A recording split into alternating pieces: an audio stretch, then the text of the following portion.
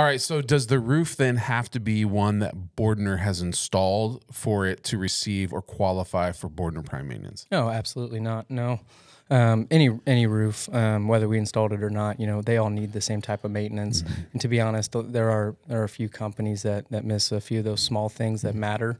Um, every time I come up onto a roof, there's something that wasn't sealed, something that they missed. They missed a, you know, a bird block flashing, kick out, uh, sealing around the pipes. So, absolutely not. Generally, you know, we want to get to those roofs, um, even the ones we haven't installed, Yeah. um, just to make sure that it was done right, you know, properly the first time.